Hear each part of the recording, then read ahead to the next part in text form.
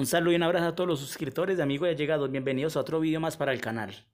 Bueno amigos, eh, yo tengo un lema pues que dice de que a veces lo más mínimo nos puede causar grandes problemas. Y este tema que vamos a tocar acá va a ser uno.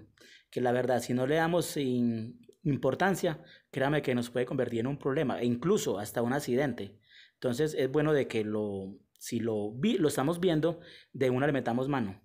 Entonces, por eso te quiero invitar, si ya llegaste a casa, llegaste del trabajo, vas a proceder a darle un mantenimiento a tu motocicleta, la vas a lavar o vas a lubricar o algo, así básico, te invito a que hagamos este procedimiento, que es de cómo revisar el sistema de rodamiento de nuestra motocicleta, tanto de la rueda delantera como la rueda trasera. Eh, y también acá las cunas eh, o la espiga donde está la barra de suspensión con el chasis, la que no el chasis. Entonces, bueno amigo, primero que todo, muchos sabemos pues de que eh, la rueda va sostenida con un eje, ¿cierto? Un eje que atraviesa aquí la rueda, que la conecta con las dos barras. Eh, ahí dentro de aquí está pasando el tambor, va, una, va unos valeros, unos, unos rodachines, que esto si no lo engrasamos se, se pueden generar un fuego bastante constante. Pero para hacer este procedimiento es bueno que tengamos la motocicleta en el parador central para que hagamos un proceso mucho mejor de revisión, que es coger la llanta, eh, moverla a ambos lados y que no presente pues ese fuego. Pero entonces mire pues de que esto es un factor bastante importante pues para que lo, lo hagamos y revisemos. Entonces vamos a, entonces a empezar con el procedimiento de cómo es para que ustedes miren de que se le da importancia.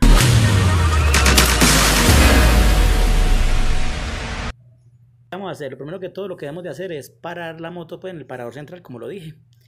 Y luego eh, eso es con el fin de que la llanta pues nos quede pues levantada, ¿cierto? Para que hagamos pues el procedimiento. Entonces, ¿qué vamos a hacer? Vamos a coger con, con, las dos manos y le vamos a hacer presión a la rueda hacia adentro y hacia afuera. Esto es para notar si tenemos algún fuego en la cuna donde va la espiga que, que comunica las barras con el chasis o acá donde está pues el eje que atraviesa la rueda. Esto es con el fin de notar si tenemos algún fuego.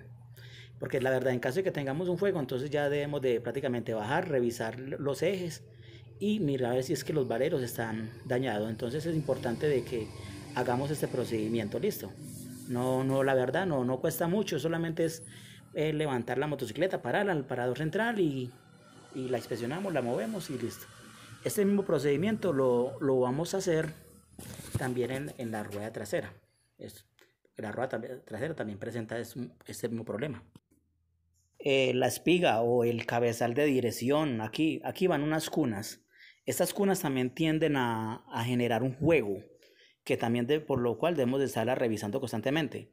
Esto también lo podemos hacer con una llave, por ejemplo aquí donde está la tuerca, aquí podemos ir ajustando. En caso de que ya se le pierda pues el ajuste que ya no dé más, entonces ya, y sigamos teniendo un fuego ahí, es porque ya tenemos que bajar, las, bajar el cabezal y darle un mantenimiento preventivo, a, a, revisar los valeros, si es que los, los los balines están ya partidos o desgastados. Entonces, es eso a que se debe pues el juego.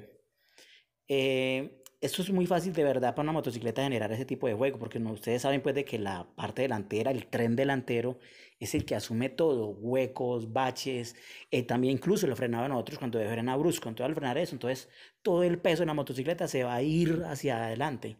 Entonces eso también va generando ese juego constantemente, constante, constante, no lo va generando. Entonces, este fuego lo vemos más que todo reflejado es cuando vamos a hacer un, frenado o pasamos un bache.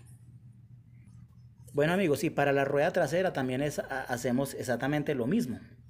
Eh, con la diferencia pues de que aquí solamente el fuego lo vamos a encontrar pues en donde está pues el eje que atraviesa pues la, la, rueda que comunica con las dos barras de la tijera.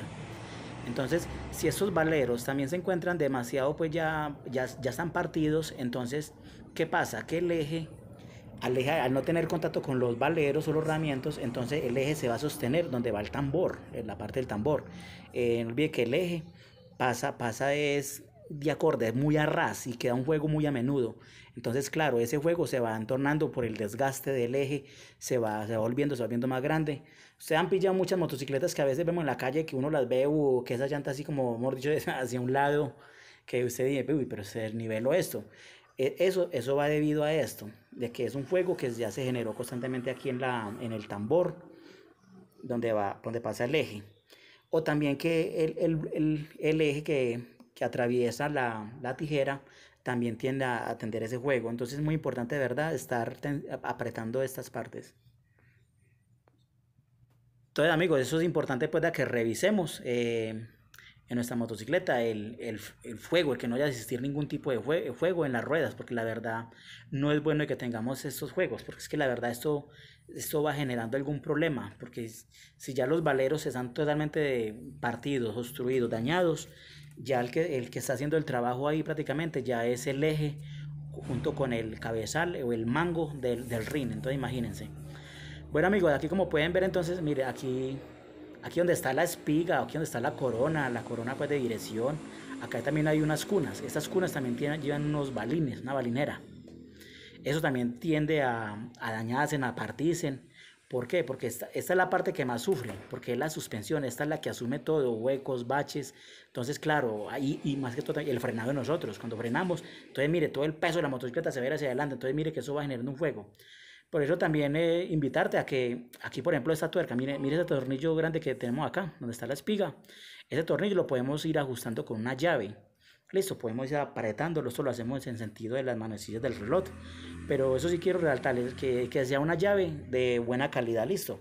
Porque si lo hacemos con una llave de mala calidad, podemos pelar la, la tuerca, aunque pues, es difícil, pues, porque la verdad esta tuerca es demasiado grande pero si una llavecita de, de, de, buena calidad y ajustamos. En caso de que ya hayamos ajustado y sigamos un fuego, entonces ya hay que revisar los de la, la, balinera porque ya entonces se, se desgastaron se partieron. Entonces de ser así ya debemos de llevar nuestra motocicleta con nuestro mecánico de confianza o si conocemos del caso pues mucho mejor porque nos vamos a ahorrar unos pesitos, ¿sí o no? Pues entonces, bueno amigos, eh, entonces mire que es, es, es darle importancia a esto, listo, mire, esto no cuesta nada solo en un lavadito que le queramos hacer nuestra motocicleta, aprovechamos y le damos el pasón, inspeccionamos eh, el sistema de rodamiento, que es, verdad, es importante de que revisemos esto. Porque como lo dije, no mire que los valeros se desgastan por, ¿cierto? por lo que ya les mencioné, los baches que pasemos, los golpes que se generen. Entonces mire que esto se, eh, los, se va partiendo y, y mucho más si, no, si los valeros no se encuentran pues engrasados. Ahí sí que van a sufrir más. Entonces, o oh, pues amigos a esto, estemos revisando pues constantemente, aquí también, eh, acá donde está la cuna, eh, la espiga, también revisemos esto. Eh, pero esto lo quiero que lo hagamos con la moto mejor así apagadita, mucho mejor y así como la, la, tengo yo acá. Porque es que muchos lo hacen es con la moto ya en movimiento y la verdad no, el fuego así no lo van a notar. Con la moto en rodamiento es, es, es complicado de que notemos ese juego. Pero entonces te invito a que lo hagamos pues así, paremos la moto en el paro central y vamos moviendo la, la espiga hacia adentro y hacia afuera y ahí vamos notando si hay algún fuego que presente la motocicleta, listo. Entonces, bueno, es así que inspeccionamos esto. Entonces, bueno amigos, entonces invitarte para que, listo, pongas pues atención a esto, aprende pues a escuchar tu motocicleta, mire que es un proceso que es bastante sencillo, no cuesta demasiado trabajo, solamente es sacar un momentico de tiempo, de dedicación y mire que no cuesta nada. Entonces te invito pues a que eh, lo hagamos. No necesariamente tenemos que hacerlo pues todos los días, pero sí podemos estar realizando, por ejemplo, cada ocho días en un lavadito de la moto, cada 15 días estemos inspeccionando esta parte. Y así, y esto hace de que nuestra motocicleta mantenga sincronizada. Entonces, mire que es importante después de que estemos revisando, pues de que no presente ningún tipo de fuego en ambas ruedas.